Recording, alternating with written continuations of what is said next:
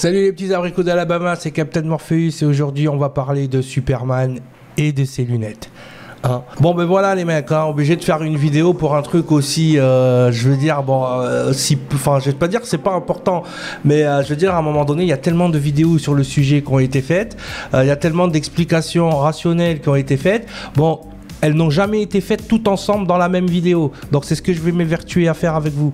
Hein. Non, parce qu'il faut à un moment donné, il faut pousser la, réflexion un peu plus loin. Hein. Pourquoi ne reconnaît-on pas Superman quand il est en Clark Kent ah, ça c'est la question, voilà. Donc on va partir sur plusieurs niveaux de lecture et on va voir pourquoi, bah effectivement, c'est pas si déconnant que ça que le fait de porter des lunettes, euh, ça, soit un problème. Enfin, que ça, ça pose un problème aux gens euh, pour vous reconnaître. Hein. Donc déjà, on va, on, va parler sur euh, le plan de vue euh, scientifique. Oui, parce que de, tout temps, hein, de tout temps, dans l'art du déguisement, hein, dans l'art de la dissimulation, le port de lunettes, chez les services secrets ou à l'armée, a été euh, un facteur bien connu pour pouvoir, pour pouvoir ben, embêter l'ennemi, pour par rapport à la, reconnaissance du visage. Tout à fait. Les lunettes, quand même, c'est quelque chose qui, pour quelqu'un qui les porte tous les jours, c'est une extension de sa personnalité, quasiment. Hein. Je veux dire, euh, quand on appelle quelqu'un binoclard, c'est pas pour rien. Hein. Je veux dire, euh, voilà. Hein. Moi, que je porte ces lunettes ou pas, vous me reconnaissez. Parce que j'ai mes tatouages et des signes distinctifs qui font que euh, vous me reconnaissez. Mais si j'enlève tous ces signes distinctifs et que je me balade dans la rue, c'est peut-être pas sûr que tu me reconnais, petit abricot. Donc, on va voir ça. Donc, les premières raisons sont scientifiques. On y va, on part dans la science du cerveau. Boum. Bon alors déjà, il y a, une, première, donnée scientifique qu'on appelle la biométrie. Tout à fait, tout à fait. Alors la biométrie, ben ouais, mais c'est ce, que, c'est ce qui se passe quand tu vas passer une photo pour ton passeport, par exemple, ou ta carte d'identité. Hein. On te conseille de ne pas porter tes lunettes. Alors tu peux les porter si les montures sont fines, si les verres ne sont pas teintés euh, comme les miens. Bon, il y a tellement de raisons de ne pas porter des lunettes sur ta photo d'identité ou de passeport que finalement les gens finissent par ne pas le faire. Oui, tout à fait. Alors la biométrie, je t'explique. Je t'explique. La biométrie, c'est la science qui porte sur l'analyse des caractéristiques physiques ou comportementales propres à chaque individu et permettant l'authentification de son identité. Tout à fait. Au sens littéral et de manière plus simple, la biométrie signifie la mesure du corps humain. Voilà. On distingue deux catégories de technologies biométriques, les mesures physiologiques et les mesures comportementales. Tu vois, ce qu'on appelle le body language. Hein, voilà. La mesure physiologique peut être morphologique ou biologique. Hein. Donc ce sont surtout les empreintes digitales qui sont utilisées dans la biométrie, la forme des mains, du doigt, le réseau veineux, l'œil, l'iris, la rétine, c'est reconnaissance de la rétine, voilà, ou encore la forme du visage pour les analyses morphologiques, c'est de ça dont on parle. Hein, voilà. Alors qu'est-ce qui se passe? Ben, euh, on, a des, maintenant des logiciels de reconnaissance faciale qui ont un, un niveau de calcul quand même assez élevé, et ces logiciels de reconnaissance faciale, tu portes des lunettes, poum, ils bug. Ça y est, ça marche plus. Ah, c'est galère pour lui. Hein. Ah là, il doit faire 10 fois 1000 plus de calculs par rapport à ça. C'est compliqué. Hein. Il doit étudier d'autres données de ta personnalité pour te reconnaître. Donc ça veut dire que quand tu fais mais c'est trop con, hein, Superman, on reconnaît même s'il a des lunettes, ça veut dire que tu prétends être plus intelligent que certains ordinateurs qui font des milliards de calculs à la seconde.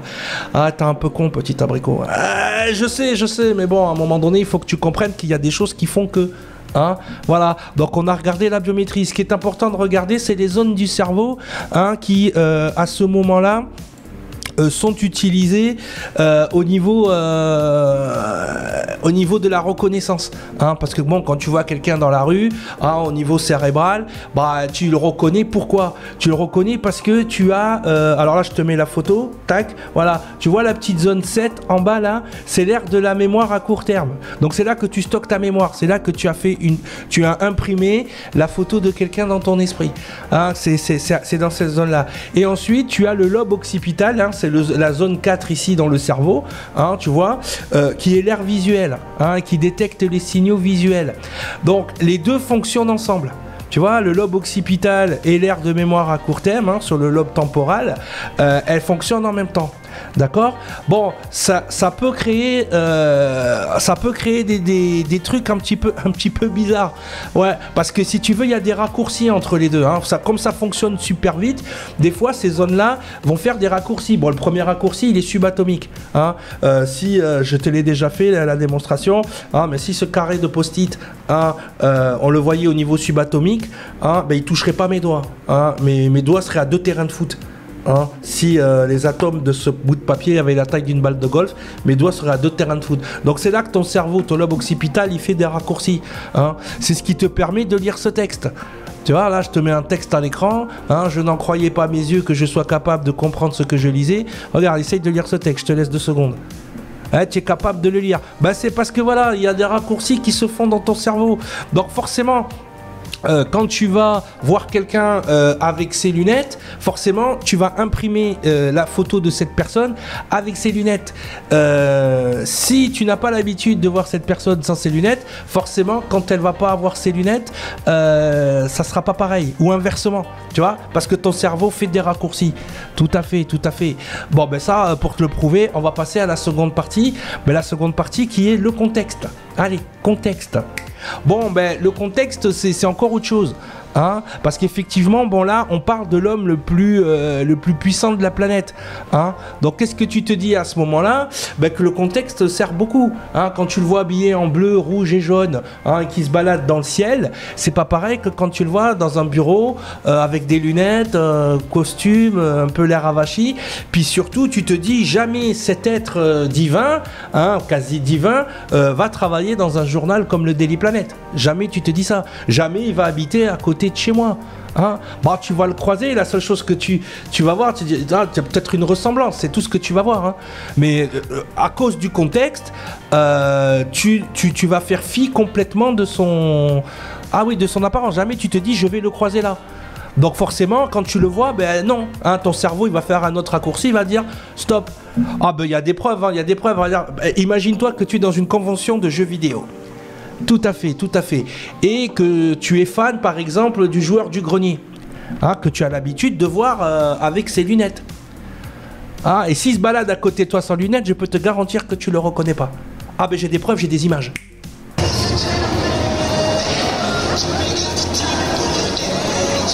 Donc voilà, arrête de dire des conneries. Tu vois ce que je veux dire? C'est que suivant le contexte, ben, tu ne t'attends pas à voir la personne là, donc tu ne la vois pas. Hein Alors si elle porte ou ne porte pas des lunettes, forcément ça rajoute une, euh, difficulté à ton cerveau. C'est logique, le contexte sert beaucoup. Jamais tu te dis que tu vas croiser euh, euh, que Superman peut être Clark Kent, parce que bon, tu vois Clark Kent, voilà. Non, mais surtout que Superman, ce qui est intéressant avec lui, c'est que c'est le seul super-héros qui finalement, il n'a pas de déguisement. Il ne se cache pas, il n'a pas de masque. C'est quand il est dans le civil qu'il se cache.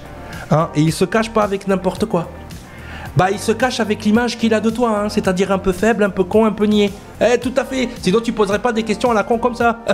tu le sais, hein. Donc voilà, c'est ça le truc aussi, hein. C'est que tu vois là, il y a le contexte, un, contexte encore plus, encore plus grand. Henry Cavill lui-même, hein, se balade à Times Square en dessous de l'affiche de Batman contre Superman. Regarde, hein. Personne l'a reconnu de la journée. Ah non, mais il a dû insister même avec un gars du kebab là pour dire eh, non, mais regarde, mais c'est moi, regarde. Et le gars il a dit oh putain, sur le coup, je t'ai pas reconnu, ni lunettes, ni rien. Juste parce que dans le contexte, le gars qui vend ses kebabs, à aucun moment il se dit bah tiens, il y a Henri Cavill qui va venir euh, me voir quoi. Je veux dire, alors qu'il a l'affiche 20 euh, mètres sur 20 devant la gueule, il a Henri Cavill à côté de lui, même pas il le reconnaît. Donc arrête de dire que c'est n'importe quoi, que c'est pas possible. Hein je veux dire, à un moment donné, il faut réfléchir. Donc la, partie contextuelle sert beaucoup aussi. Hein Donc on a vu que sur un, sur un plan de vue scientifique, c'est pas déconnant. Hein au niveau biométrique, au niveau des, euh, des zones du cerveau qui font des raccourcis. On a vu que suivant le contexte aussi, bah tu t'attends pas à voir le truc. Mais, ouais, mais quand même, Lois Lane, elle passe tout son temps avec lui à un moment donné. Voilà, écoute-moi bien. Lois Lane, déjà, il faut savoir quelque chose. Elle est amoureuse de Superman. Hein Ah oui, mais quand tu es amoureux, il se passe quelque chose au niveau du cerveau aussi. Ah ben t'as la sérotonine qui baisse, Hein, et la sérotonine, c'est l'hormone qui te, qui, te, qui te permet de, te concentrer, hein, qui te permet de voir des choses.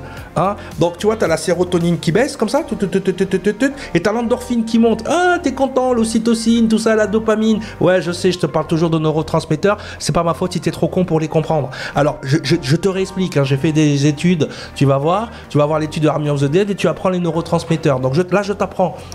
Donc la sérotonine, c'est l'hormone qui te permet de te concentrer. Tout à fait. Donc quand tu tombes amoureux, elle baisse. Il y a l'endorphine, l'euphorie qui commence à monter. Tu vois, l'ocytocine, la dopamine, tout ça, ça monte. Donc déjà, tu, es plus focus là. Tu, es plus lucide. Hein. quand tu vois la personne, bah, au début, tu vois pas la verrue qu'elle a sur le nez. Ah non, non, non, non, non, au début, t'as maté les nichons, t'as maté un truc, mais après, hop, t'es tombé amoureux, c'est fini. À la verrue, tu la vois pas. Mais qu'est-ce qui se passe avec le temps? C'est pour ça qu'on dit l'amour en aveugle aussi. Hein. Rappelle-toi de cette. euh, de cette euh, voilà, tout à fait, de cette expression, merci. Donc en fait, qu'est-ce qui se passe à ce moment-là? C'est qu'au bout, euh, bout d'un certain temps, ben, la sérotonine, elle commence à remonter, puis les autres commencent à redescendre. Tout à fait, c'est là que ouais, ça commence, on n'a plus la fougue du début. Hein, voilà, exactement. C'est parce que les autres neurotransmetteurs sont en train de baisser, la sérotonine est en train de monter. Et là, tu commences à la voir, la verrue. D'ailleurs, tu ne vois que ça au bout d'un moment. Hein, tu commences à voir les défauts de la personne, tu commences à voir comment ça fonctionne. Et là, tu te dis, putain, je me suis fait avoir. Euh, voilà, au début c'est tout beau, c'est tout rose, puis là c'est un peu la chienlit, elle, elle est chiante la meuf, hein, ou le mec, hein, je veux dire, euh, je veux pas avoir de problème, hein, voilà. Donc à partir de ce moment-là, tu comprends comment ça fonctionne. Donc Loïs, même si elle le voit tous les jours, euh, elle n'a pas les mêmes sentiments envers Clark au départ euh, que envers, envers Superman. Ça c'est dans l'histoire classique. Là ça a changé depuis, mais bon, on, on en reparlera. Donc du coup, euh, t'as pas les mêmes neurotransmetteurs, t'as pas les mêmes curseurs qui sont montés, bah tu ne vois pas la personne de la même manière. Dans aucun, aucun moment, tu te dis que le gars un peu con là à côté de toi qui, est, niais, qui arrive même pas à tenir son stylo, c'est Superman. Tu comprends ça? Tu comprends? Donc là, on a vu la version scientifique, la version contextuelle. Bon, maintenant, on va voir la troisième version. La troisième version, ben, c'est les origines des pouvoirs de Superman, les mecs. Non, mais c'est ça, à force de pas lire de comics, vous dites des conneries. Eh, comme d'habitude. Hein voilà. Donc, alors, qu'est-ce qui se passe à ce moment-là? C'est que quand vous revenez aux origines des pouvoirs de Superman, bon, déjà, Superman, c'est un alien. Vous êtes d'accord avec ça? Dans, dans toute la littérature ufologique, là je parle des gens qui s'intéressent aux rencontres du troisième type, aux soi-disant abductions ou ces choses-là. Ils, ils sont tous d'accord sur un sujet, c'est que les aliens discuteraient avec nous euh, de façon télépathique. Donc ils ont un pouvoir psychique. Tout à fait. Et quand tu retournes aux origines des pouvoirs de Superman, c'est-à-dire dans l'âge d'or et l'âge d'argent de Superman, qu'est-ce qui se passait? Ben, Superman était, avait la capacité d'influencer télépathiquement les gens. Hein et d'ailleurs, il portait ses lunettes pour toujours se rappeler. Hein, ça, les lunettes servaient à un moment donné. Alors parce que ces lunettes, elles ont été fabriquées avec son vaisseau. Ouais, pour des raisons de laser, de conneries, des trucs comme ça. Voilà. Et justement, elles activaient automatiquement son pouvoir psychique qui influençait la façon dont les gens le voyaient quand il était en Clark Kent. Voilà. Donc il avait ce pouvoir aussi de shapeshifter où il pouvait modifier légèrement son visage. Voilà. Mais Superman au début, il était, il avait, c'est même plus des pouvoirs qu'il avait le mec. Ah mais tous les super-héros que tu vois, ils ont tous un pouvoir de Superman en fait. Hein, parce que l'âge d'or ou l'âge d'a- d'argent euh, des super-héros, ce qu'on appelle le Golden Age et le Silver Age, comme me disent les jeunes d'aujourd'hui, Superman, il était cheaté à mort. Mais justement, l'influence mentale faisait partie des pouvoirs de Superman. Donc ça s'est perdu au fil du temps. hein. Après les différents reboots, les, euh, les auteurs ont pris pour acquis les lunettes de Clark Kent, hein, que tout le monde avait compris, que voilà, euh, nanani nanana. Euh, et donc du coup, bah, ils ont pris pour acquis les lunettes et ils ont inséré les lunettes sur Clark Kent de façon complètement logique et normale, en se disant que quand même les gens allaient faire leur devoir, hein, qu'ils allaient pas attendre qu'il y a des films qui sortent pour se renseigner sur un personnage. Voilà. Donc euh, au fil du temps, voilà, ce, euh, pouvoir euh, n'a plus été mis en avant, n'a plus été utilisé par les auteurs. hein. John Byrne ne l'utilise pas du tout.